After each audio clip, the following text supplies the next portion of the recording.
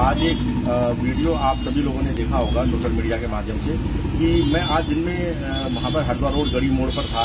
और तभी मैंने देखा कि दोनों तरफ़ सड़कों में जाम लगा हुआ था। बुरी तरीके से लोग घंटों घंटों से जाम में फंसे हुए थे। तभी एक सायरन बजाते हुए एक गाड़ी की आवाज़ सुनाई पड़ने लगी। तो शायद पहले मुझे लगा कि कोई एंबुलेंस ना हो। लेकिन जब देखा तो सामने से कैबिनेट मिनिस्टर ऋषिकेश के राजा बाबू प्रेमचंद अग्रवाल जी का काफिला वहाँ से रॉन्ग साइड से आ रहा था और जो उनके सुरक्षाकर्मी थे, वो सुरक्षाकर्मी गाड़ी से उतरकर लोगों को धमकाते हुए उनकी गाड़ियाँ साइड करवा रहे थे, जिससे कि ऋषिकेश के राजा बाबू प्रेमचंद अग्रवाल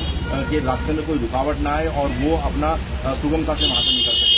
मुझे बहुत ही दुख हुआ और बहुत ही मुझे आज कैबिनेट मिनिस्टर प्रेमचंद अग्रवाल जी का रवैया बहुत ही ज़्यादा दुर्भाग्यपूर्ण लगा कि किस तरीके से वो लोगों को वहाँ पे चिल चिला धूप में वहाँ पे स्कूल की उस समय बसें भी जाम में फंसी हुई थी, लेकिन उन्हें कोई किसी तरीके की चिंता लोगों की नहीं थी, लेकिन सिर्फ़ उनको अपना आराम दिखाई दे रहा था, उनको बहुत अपनी जल्दी नज़र आ रही थी और उन्होंने सारी भीड़ को एक तरफ़ धक्का बताते हुए और उन्होंने रॉन्ग साइड से अपनी गाड़ी डालकर और अपने आप राजा साहब वहाँ से सायरन बजाते हुए निकल गए। तो ये बहुत ही दुर्भाग्यपूर्ण और बहुत ही घटिया उनका आज का रवैया था, जिससे वहाँ पे लोगों में बहुत ज़्यादा आक्रोश था और बहुत ज़्यादा गुस्सा आज नज़र आया।